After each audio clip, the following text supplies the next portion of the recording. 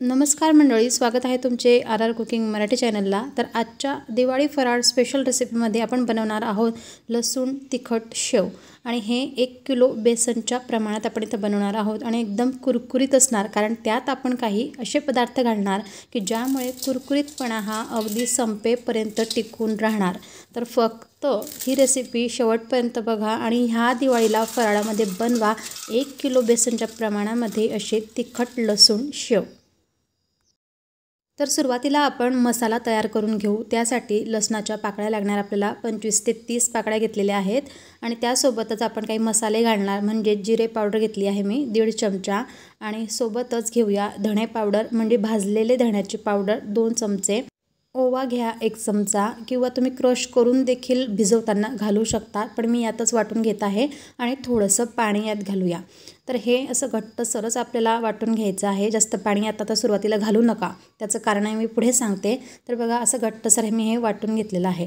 आता आपल्याला बनवायचं आहे एक किलो बेसनच्या प्रमाणामध्ये शेव. तर बघा हे आहे अर्धा किलो बेसन पीठ. त्याच सोबतीला मी अजून अर्धा किलो बेसन पीठ घेत आहे म्हणजेच एक किलो पीठ हे टोटल आपलं झालेलं आहे. आता सगळ्यात महत्त्वाचं शेवांमध्ये शेवटपर्यंत कुरकुरीतपणा टिकून राहण्यासाठी यात असे काही पिठं घातले जातात की ज्यामुळे कुरकुरीतपणा हा अगदी संपेपर्यंत टिकून राहतो. तर इथं मी दोन मोठे चमचे तांदूळाचं पीठ घातलं आहे या ठिकाणी तुम्ही साबुदाण्याचं पीठ देखील वापरू शकता. आता एक किलोच्या प्रमाणासाठी अचूक तिखट मीठ हे प्रमाण देखील खूप महत्त्वाचे असते. तर इथं तिखट घालायचं आहे एक किलोसाठी तीन चमचे. हळद घालायची आहे एक चमचा आणि सोबतच आपण यात घालणार आहोत मीठ. आणि मीठ आहे बरोबर ह्या प्रमाणासाठी अडीच चमचे. आणि चमचा अगदी पोहे खायचा रेग्युलर चमचाच आहे. तर ह्या प्रकारे तुम्ही मोजमाप करा म्हणजे प्रमाण अगदी अचूक येईल.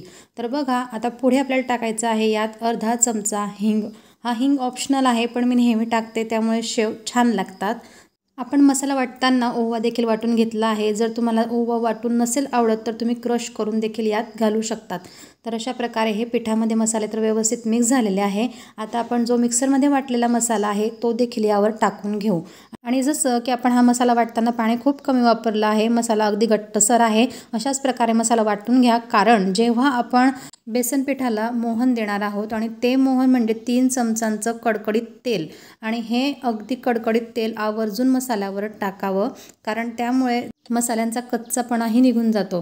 तर बघा आता हे तेल गरम असल्याकारणाने मी थोडं चमच्याने मिक्स करत आहे. नंतर हे व्यवस्थित आपल्याला हाताने चोळून घ्यायचं आहे तर ह्या कामासाठी दहा ते पंधरा मिनटं तुम्ही नक्की द्या. म्हणजे कसं आहे शेव जे आहे ते चविष्ट तर बनणारच बनणार पण कुरकुरीतपणा खूप छान मिळतो यामुळे. तर बघा ह्या वेळेला पंधरा मिनटं झालेली आहे. तेव्हा मस्तपैकी याला पूर्णपणे हे मोहन देऊन झालेलं आहे. तेव्हा मिक्सर जारमध्ये मी थोडं पाणी टाकून हे अशा प्रकारे यात पीठ भिजवण्यासाठी वापरत आहे. म्हणजे इथं वाया काहीच जाणार नाही. आणि पीठ मळताना लक्षात घ्या जसं जसं आपल्याला पाणी लागणार तसं तसं थोडं थोडंच पाणी वापरा. तर सुमारे अडीच ते तीन ग्लास आपल्याला पाणी यायला लागतं. आणि अशा प्रकारे सैलसर याचं हे मिश्रण असतं. आता अर्ध्या तासाकरता हे व्यवस्थित पीठ मुरू द्या. म्हणजे शेव छान खुसखुशीत येतील.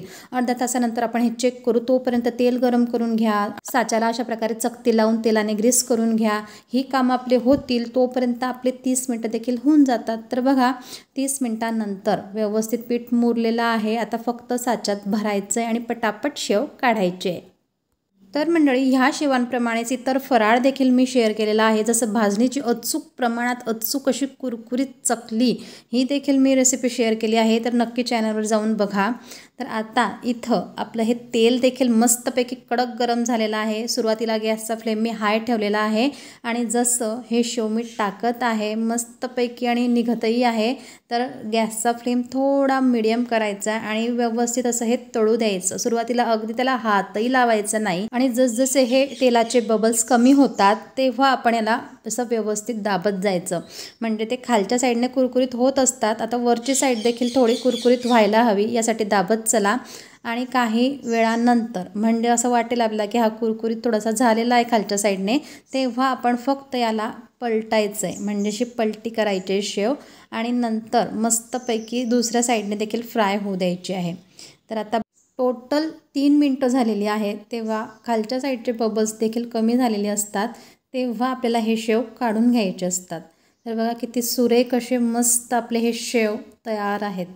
तर अशाच प्रकारे आपण बाकीचे शेव देखील काढून घेऊ. काही एक वेळ लागत नाही. एकदाच तेल गरम असलं आणि असे भराभर कोणीतरी साचं भरून देणारं असलं की शेव पटापट होतात.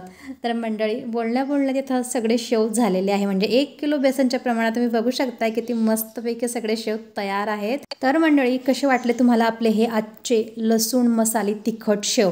आहे ना मस्त? तर पटकन एक लाईक करा शेअर करा आणि तुमच्या प्रतिक्रिया कळवायला विसरू नका. कारण तुमच्या प्रतिक्रिया म्हणजे आमच्यासाठी एक प्रोत्साहन असतं नवीन रेसिपी दाखवण्यासाठी एक उमेद असते आणि ती उमेद कायम राहण्यासाठी तुम्हाला कमेंट्समध्ये नक्की तुमच्या प्रतिक्रिया कळवायच्या आहेत. आणि अशा छान छान रेसिपी नेहमी बघण्यासाठी आर आर कुकिंग मराठी चॅनलला लवकरात लवकर सबस्क्राईब करा. तर चला भेटू आपल्या पुढच्या अशाच छान रेसिपीसोबत तोपर्यंत बाय बाय टेक केअर